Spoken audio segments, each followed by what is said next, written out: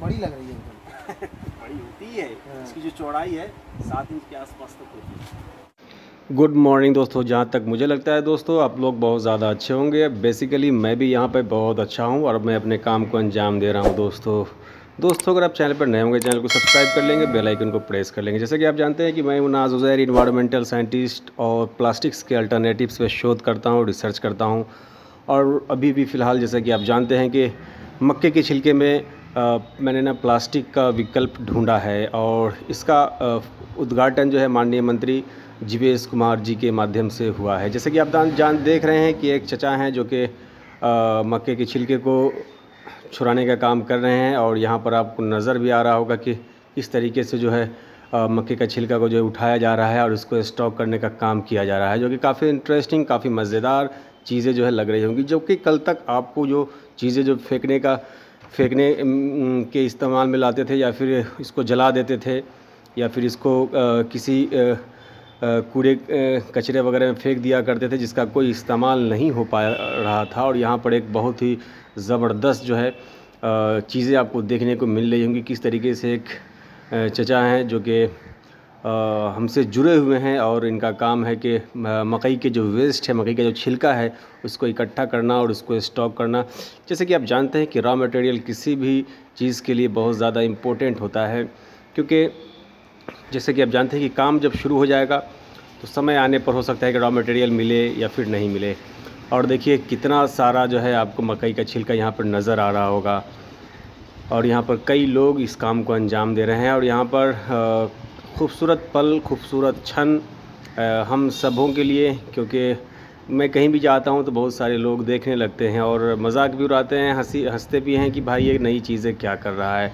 और ज़ाहिर सी बात है, कोई भी मज़ाक उड़ाएगा, कोई भी मज़ाक बनाएगा, क्योंकि जिस चीज़ों को लोग फेंक रहे हैं या फेंक देना चाहते हैं या फेंकना पसंद करते हैं, उसी चीज़ें को मैं बहुत ही अच्छे तरीके से उसको लेता हूँ, उठाता हूँ।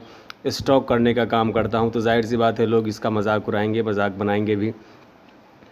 लेकिन दुनिया है यहाँ पर पहले तिरस्कार होता है फिर बहिष्कार होता है फिर स्वीकार होता है। देखिए किस तरीके से जो है अ, हमारे लोग स्टॉक कर रहे हैं प्रोडक्ट जो वेस्टेज है वेस्ट मटेरियल है मकई का उसको स्टॉक करने का काम किया जा रहा है।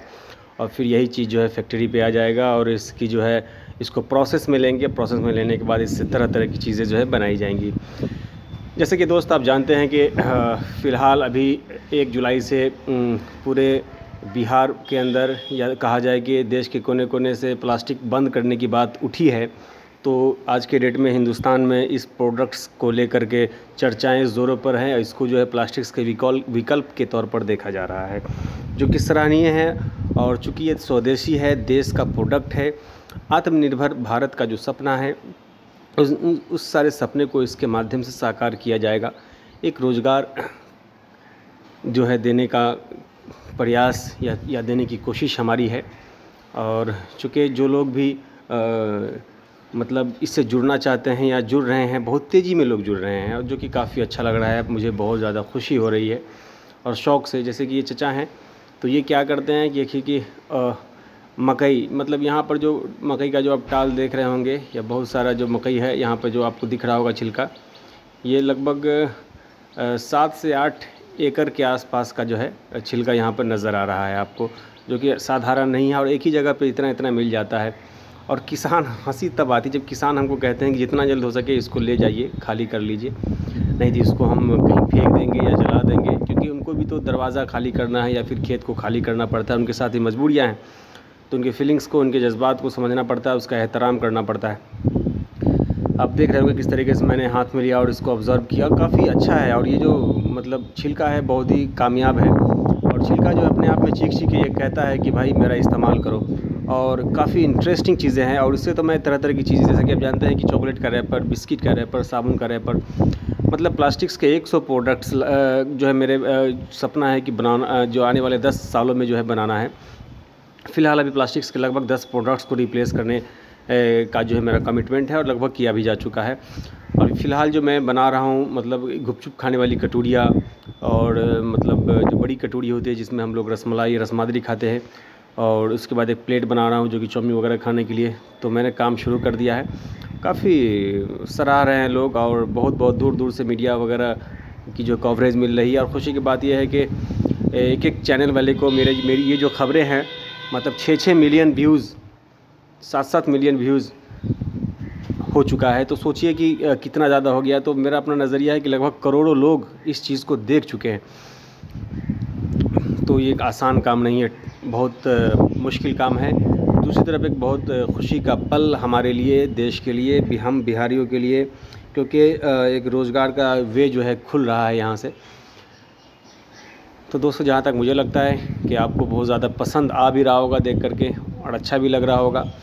तो मेरा जो एक स्लोगन हुआ था कि ज़माना ये सुन करके है हक्का बक्का, ज़माना ये सुन करके है हक्का बक्का, लड़ेगा प्लास्टिक से मक्के का छिलका।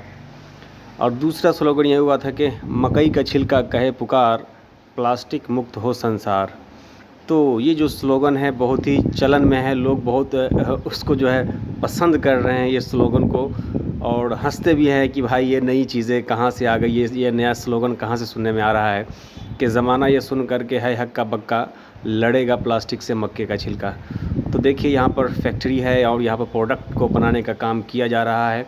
किस तरीके से इसकी नमी मेंटेन करनी पड़ती है कितना नमी पे आ, हम काम करेंगे वर्क करेंगे तो आ, किस तरह का प्रोडक्ट निकलेगा और प्रोडक्ट को कोई नुकसान नहीं होगा। पहले इसकी सफ़ाई होती है। इसमें जो भी जर्म्स वगैरह हैं, उसको धो दिया जाता है। सफ़ाई के बाद जो है प्रोसेस में लाया जाता है और हीटिंग प्रोसेस दिया जाता है क्योंकि जो भी जर्म्स वगैरह है कीड़ा वगैरह है बैक्टीरिया वगैरह है, उसका जो है ख़ात्मा किया जा सके और उसके बाद जो है तरह तरह की के जो है प्रोडक्ट्स जो है इसके माध्यम से जो है बनाए जाते हैं, जो कि काफ़ी इंटरेस्टिंग काफ़ी मज़ेदार लगता है।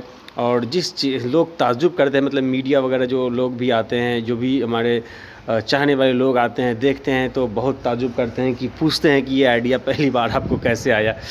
तो ज़ाहिर सी बात है, कोई भी आदमी ताजुब करेगा ताजुब करने वाली बात ही है। क्योंकि कल तक जिस चीज़ को हम लोग फेंक दिया करते थे, और सबसे बड़ी बात है कि इसका रॉ मटेरियल मकई जैसे